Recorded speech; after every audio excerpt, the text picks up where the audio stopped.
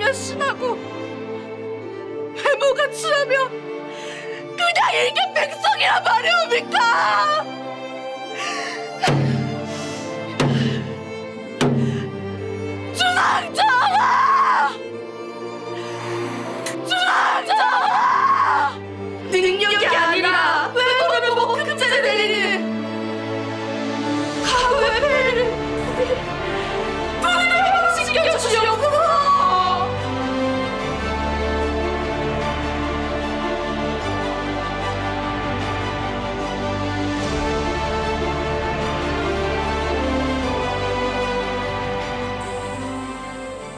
영의정께서 외모를 보고 급제자의 합격을 취소했다는 아주 재미난 이야기가 저자에 돌고 있다오.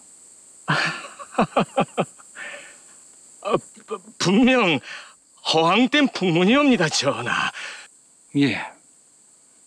당연히 저도 믿지 않습니다. 조정에서 얼굴을 보고 사람을 뽑았음.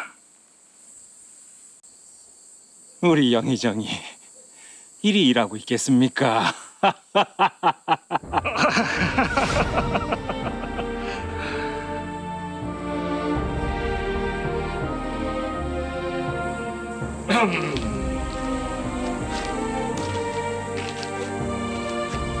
급제자 명단에 착오가 있는 걸 내 직접 찾아 고쳐놨네.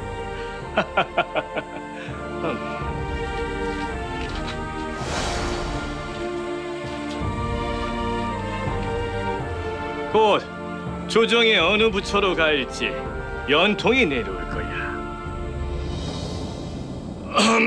그, 난 그 할 일이 있어서 이만.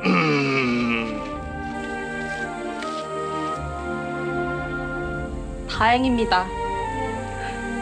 참으로 다행입니다, 서방님. 내 글이 차갑게 대했건 주일은 날 위해 목숨을 걸어 주었으니 도저히 주인을 볼 면목이 없어 그런 말 마십시오. 전 서방님을 위해서라면 못할 일도 없습니다. 부인 나으리